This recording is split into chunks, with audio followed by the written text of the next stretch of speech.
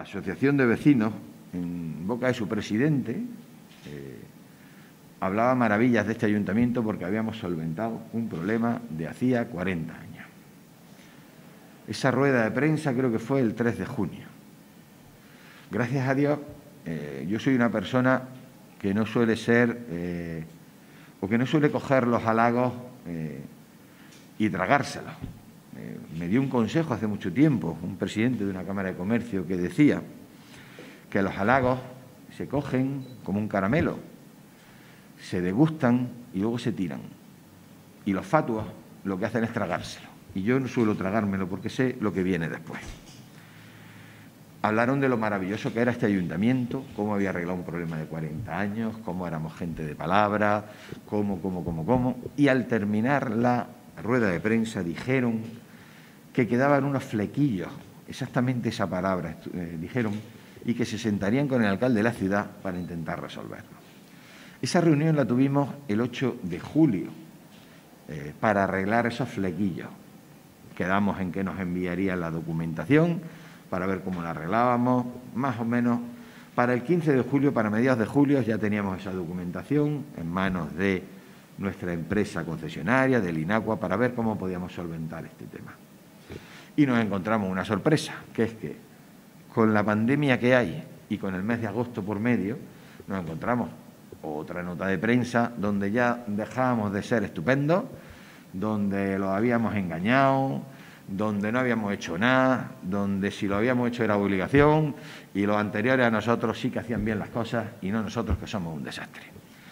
Bueno, supongo que ni una cosa ni la otra. Eh, alguien ha dicho por ahí que somos meros gestores. Eso también es un halago, pues seremos meros gestores. Y nos dedicamos a arreglar los problemas que nos ponen encima de la mesa. Nosotros prometimos a la Asociación de Vecinos de la Malena que íbamos a arreglar el tema del aljibe de la Malena. Y eso se cumplió. Se metieron toda la maquinaria nueva y todo funcionaba como un reloj. Lo que sí es curioso es la poca paciencia que han tenido para resolver los flequillos cuando llevaban 40 años de paciencia. Parece ser que esos 40 años de paciencia se les han olvidado y la paciencia infinita la tenían que tener o tenían que cortarla ahora cuando habíamos tenido el mes de agosto por medio. Miren, eh, no se lo voy a tener en cuenta porque creo que eh, de verdad hay mucha gente que hace las cosas y no sé si llega a pensarlas de verdad, las consecuencias que tienen. Pero sí deberían de recordar que todos somos dueños de nuestro acto y responsables de sus consecuencias. Aún así, verán, nosotros dijimos que íbamos a resolver eso y les voy a contar un poquito un itinerario. En el año 1981, eso creo que hace, no hace 40 años, hace 39, se firmó un convenio entre el Instituto Nacional de la Vivienda y el Ayuntamiento de Linares, siendo alcalde Julián Jiménez Serrano, persona recordada por todos nosotros, en el que el ayuntamiento recibía toda la obra que se había hecho para crear aquel barrio y se hacía cargo en aquella cesión de absolutamente todos los servicios de aquel barrio. Luego, desde el año 1981, el responsable de todos los servicios de aquel barrio de La Malena es el Ayuntamiento de Linares. ¿Por qué tenemos este problema aquí? No tengo ni idea. Solo sé que desde 1981 aquello se tenía que haber arreglado. Fueron pasando los años y resulta que en ese proceso en el que nos comprometimos con la Malena, es decir, vamos a mirar pues también hemos visto que en el año 2017 hay un certificado del secretario general del Ayuntamiento de Linares diciendo que todo lo que hay alrededor del aljibe, encima, debajo y al lado, es propiedad municipal. Es decir, que es que no sé muy bien qué hacemos en esta situación. El ayuntamiento es el responsable del mantenimiento de aquello, de dar el servicio y, por tanto, eso es lo que hará de aquí en adelante en cuanto resolvamos eh, una clausulita que tenemos con Linacua, porque cuando se hizo el convenio con Linacua no lo tenían, no se, metió dentro de las propiedades municipales. Lo haremos. Es el responsable. Pero verán, eh, hemos hecho algo más. En Consejo de Administración extraordinario del 27 de septiembre de del año 2019, el presidente del Consejo de Administración, que parece ser que soy yo, pidió, y figura en acta, figura en acta, y se lo puedo leer. Por parte del presidente del Consejo de Administración se efectúan las siguientes propuestas para la INACUA. Uno, que es la que interesa.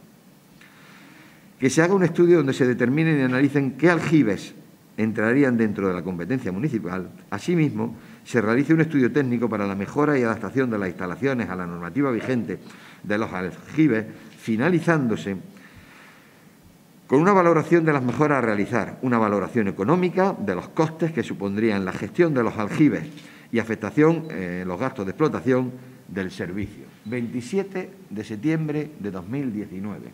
Qué casualidad que en el siguiente pleno el PSOE nos mete una moción diciendo que el ayuntamiento haga un estudio de los aljibes, es decir, lo que ya habíamos aprobado en Consejo de Administración de eh, INACUA se lleva a una moción. Y aún así les dijimos que nos parecía estupendo. Si no hemos venido ni a discutir ni a pelearnos con nadie, hemos venido a trabajar por esta ciudad. Se ha hecho el estudio de, y análisis de los aljibes de la ciudad. Ya están todos identificados. Estamos viendo ahora mismo la propiedad de cada uno de ellos. Y en el pasado Consejo de Administración del INACUA, que fue a primeros de septiembre, se aprobó el acometer las obras necesarias para el mantenimiento y mejora de todos los aljibes públicos de la ciudad. Ya lo hemos aprobado en Consejo de Administración, lo pasaremos por la comisión correspondiente y lo aprobaremos en pleno. Es decir, que no nos hemos comprometido a arreglar el de la malena, nos hemos comprometido a arreglar todos aquellos que sean de titularidad pública, porque es lo que nos corresponde como ayuntamiento y es lo que nos corresponde como administración y es lo que nos corresponde de cara a nuestros vecinos. Así es que parece ser que sí, que tenemos compromiso con los vecinos, que tenemos compromiso con los ciudadanos y que no es el compromiso solo con la malena, es con absolutamente todos aquellos que tengan un aljibe en suelo público y que corresponda a el ayuntamiento de esta ciudad.